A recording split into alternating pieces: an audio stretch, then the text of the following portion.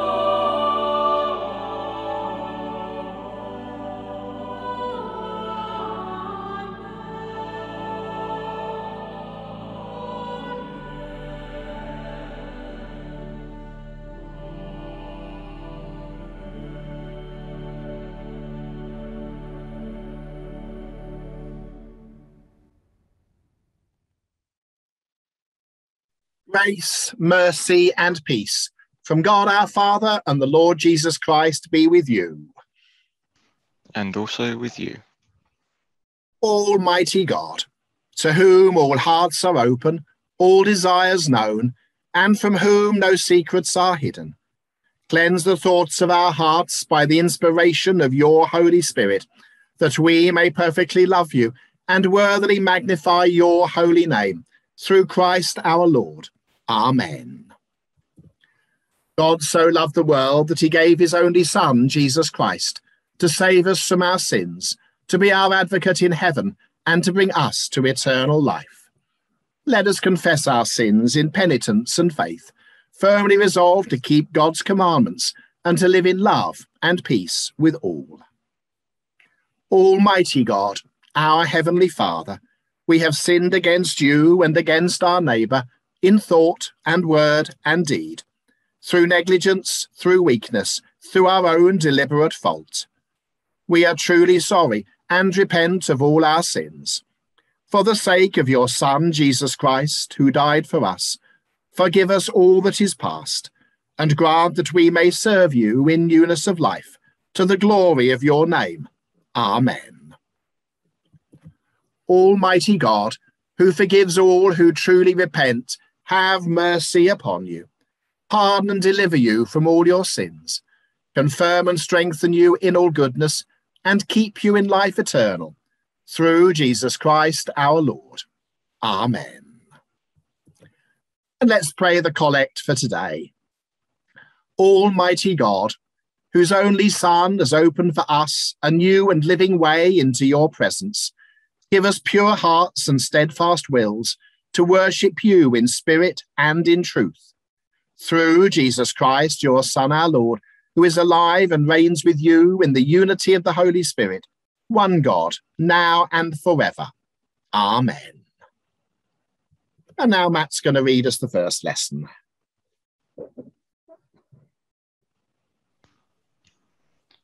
My brothers and sisters, do you, with your acts of favoritism, really believe in our glorious Lord Jesus Christ? For if a person with gold rings and in fine clothes comes into your assembly, and if a poor person in dirty clothes also comes in, and if you take notice of the one wearing the fine clothes and say, Have a seat here, please, while to the one who is poor you say, Stand there, or sit at my feet, have you not made distinctions among yourselves and become judges with evil thoughts? Listen, my beloved brothers and sisters, has not God chosen the poor in the world to be rich in faith and to be heirs of the kingdom that he has promised to those who love him? But you have dishonored the poor. Is it not the rich who oppress you? Is it not they who drag you into court? It is not is, is it not they who blaspheme the excellent name that was invoked over you? You do well if you are really fulfill the royal law according to the scripture, you shall love your neighbor as yourself. But if you show partiality, you commit sin and are convicted by the law as transgressors. For whoever keeps the whole law but fails in one point has become accountable for all of it. For the one who said, You shall not commit adultery, also said, You shall not murder. Now, if you do not commit adultery, but if you murder, you have become a transgressor of the law.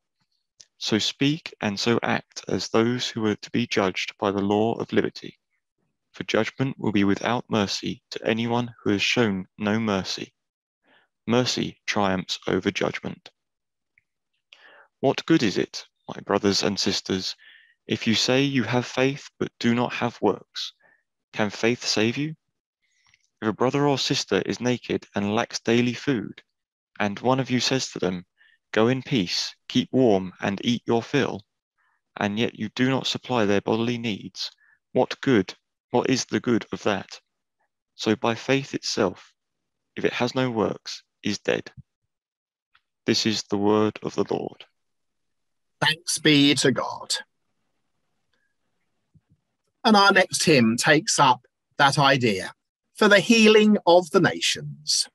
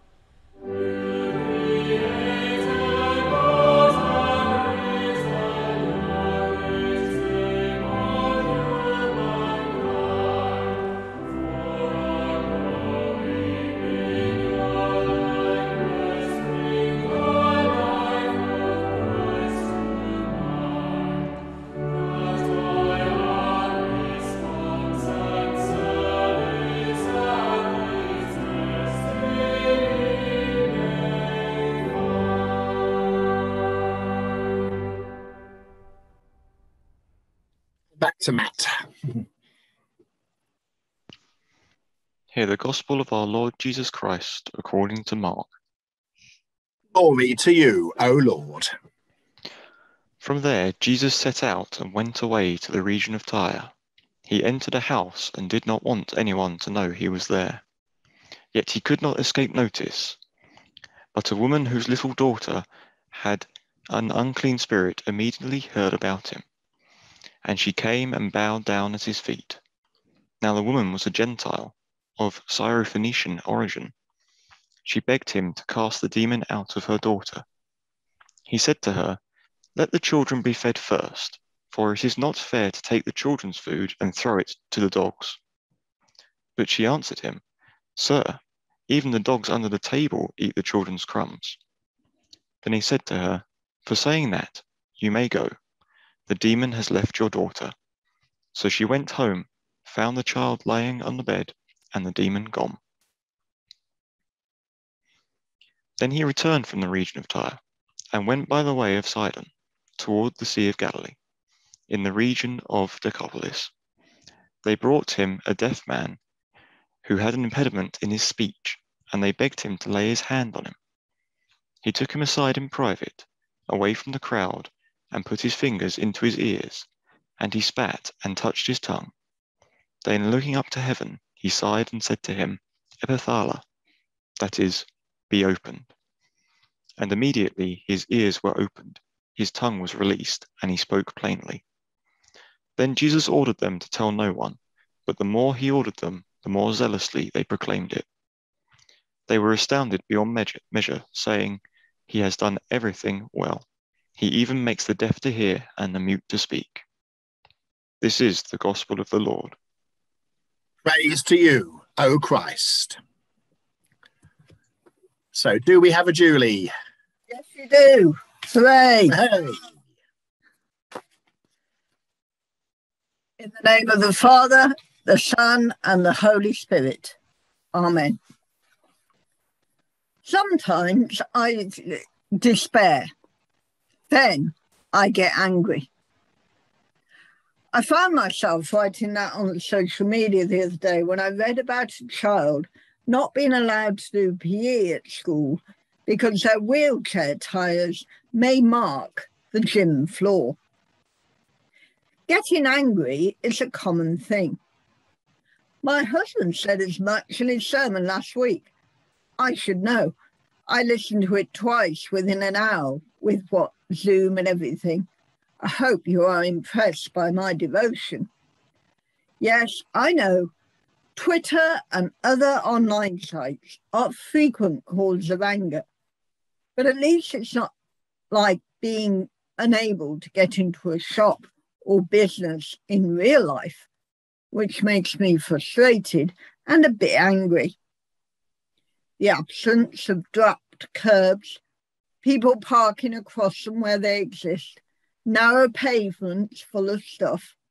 Don't get me started. And I have designer wheelchairs and can express myself very forcibly.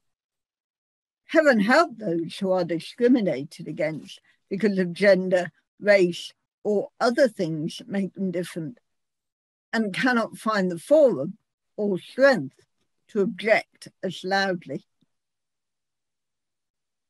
In his letter that we have heard part of today, James gets properly angry about the way those who are poor and wearing dirty clothes are treated by those claiming to be citizen Christians.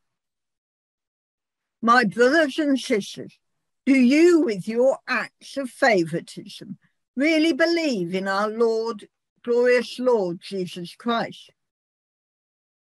He goes on to write those people with gold rings and in fine clothes who get treated differently, with respect and a real welcome, as opposed to a poor person in dirty clothes. James is arguing on two fronts that this is a bad idea, apart from the common decency. He says that it is the poor that God has chosen to be rich in faith and heirs of a kingdom, where it is the rich who oppress and take you to court. It's quite an argument for enlightened self interest if you think about it. The poor believe because they have nothing else, whereas the rich have options to behave badly towards people. I'm aware that this might sound like socialism, but it was James that wrote it first. The other argument that James uses is that Christians obey the royal law according to Scripture. You shall love your neighbour as yourself, and that not to do so is a sin. It's tough stuff. If you treat the wealthy better based on appearance alone, you are not fulfilling the basics of Christianity, says James. So, what do we do with that idea?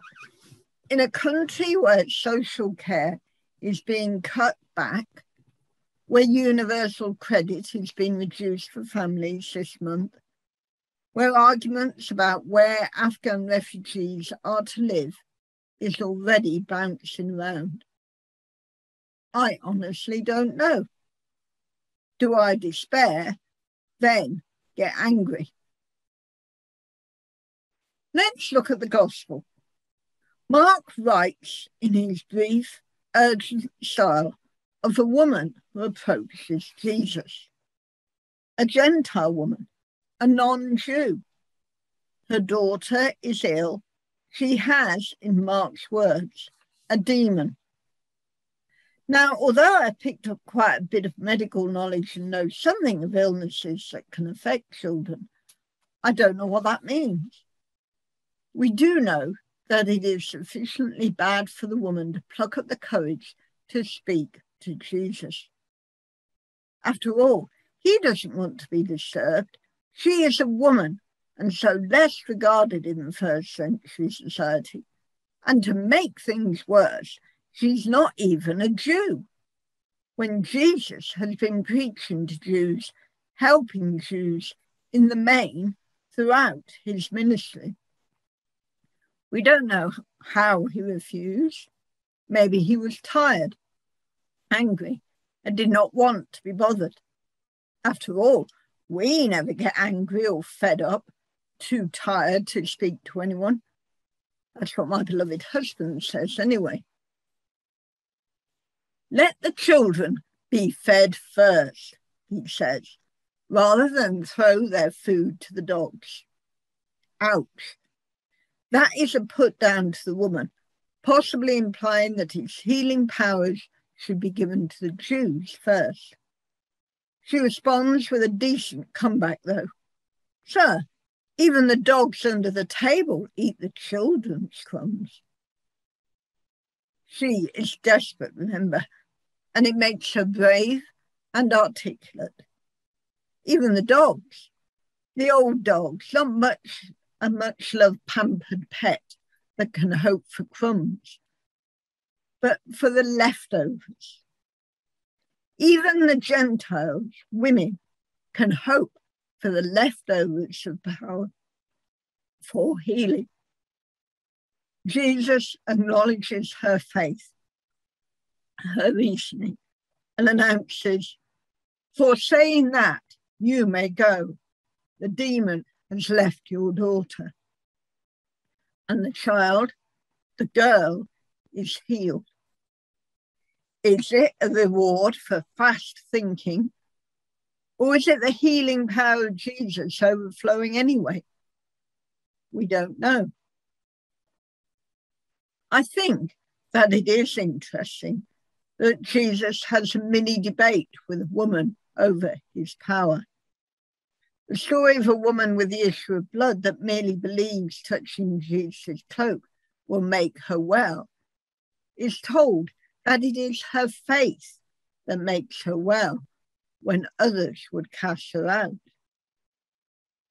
The Samaritan woman, the member of a disliked tribe, is shown Jesus' knowledge and compassion despite their differences. Did the gospel writers choose these stories because they were just good examples of Jesus' power?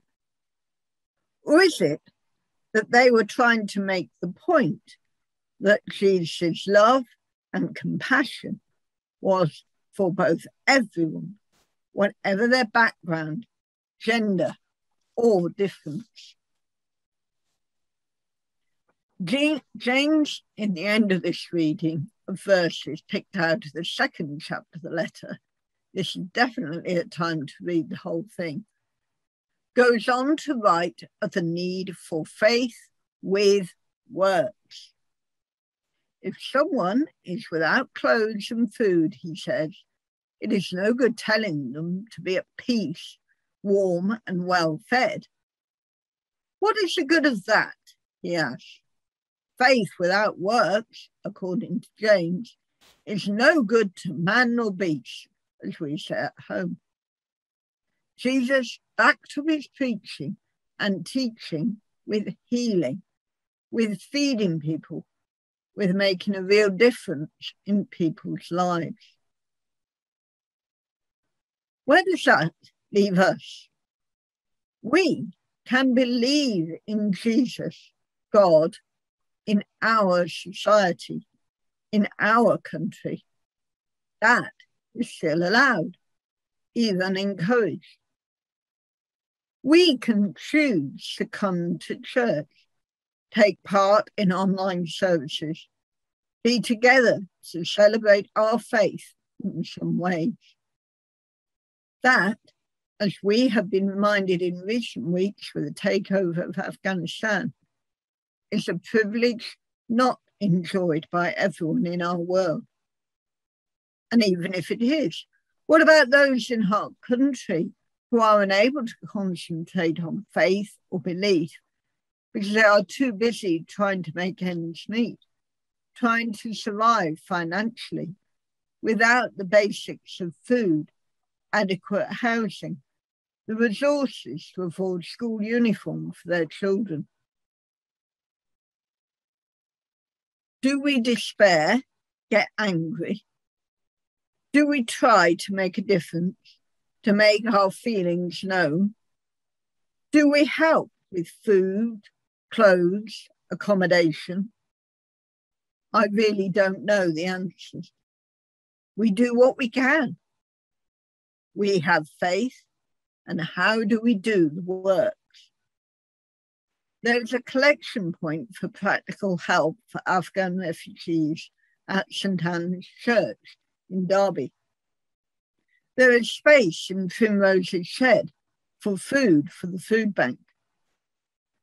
There are various ways of contacting our MPs, our representatives. Our faith can make a difference in our lives. Let us pray to be shown how to make a difference in the lives of others. Amen. Thank you, Julie. Let's proclaim our faith in the words of the Creed. We believe in one God, the Father, the Almighty, maker of heaven and earth, of all that is seen and unseen. We believe in one Lord, Jesus Christ, the only Son of God, eternally begotten of the Father, God from God, light from light, true God from true God, begotten, not made, of one being with the Father. Through him all things were made. For us and for our salvation he came down from heaven, was incarnate from the Holy Spirit and the Virgin Mary, and was made man. For our sake he was crucified under Pontius Pilate he suffered death and was buried. On the third day he rose again, in accordance with the Scriptures. He ascended into heaven, and is seated at the right hand of the Father. He will come again in glory to judge the living and the dead, and his kingdom will have no end. We believe in the Holy Spirit, the Lord, the giver of life, who proceeds from the Father and the Son, who with the Father and the Son is worshipped and glorified who has spoken through the prophets. We believe in one holy Catholic and Apostolic Church. We acknowledge one baptism for the forgiveness of sins. We look for the resurrection of the dead and the life of the world to come. Amen. So, for our anthem, a piece by the contemporary composer Margaret Rizza, a setting of words by Lancelot Andrewes Open thou mine eyes, and I shall see.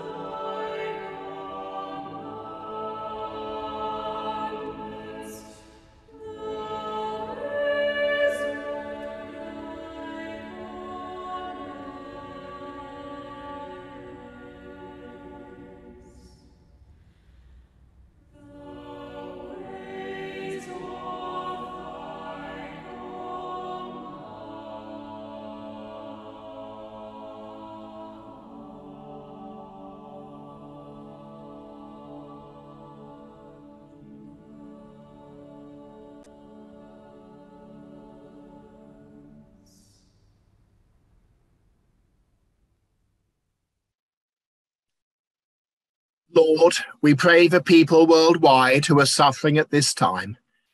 In particular, we think of those affected by the situation in Afghanistan, those grieving for the casualties, those still seeking to leave the country, and those Afghans who are frightened and unable to continue with their established way of life because of the restrictions enforced by the Taliban.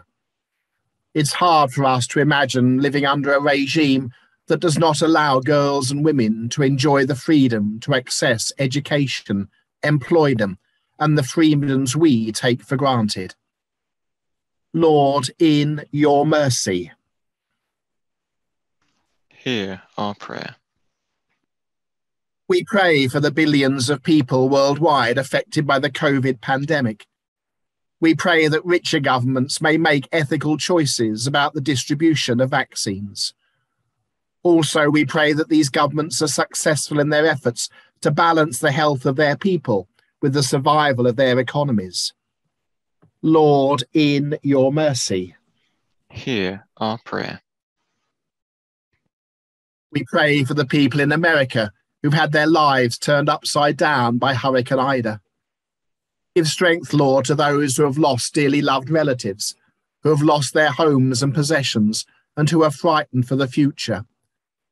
Guide those making important resolutions that will affect climate change in the future. Lord, in your mercy. Hear our prayer. We pray that all politicians in our country may exercise wisdom and integrity in all they do. We continue to pray for the NHS, which has been stretched to breaking point.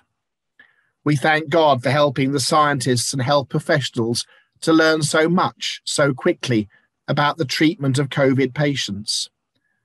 We pray for all those waiting for operations and treatments that have been delayed due to the pandemic. Some of these delays are having serious impact on the quality and length of people's lives. Lord, in your mercy. Hear our prayer.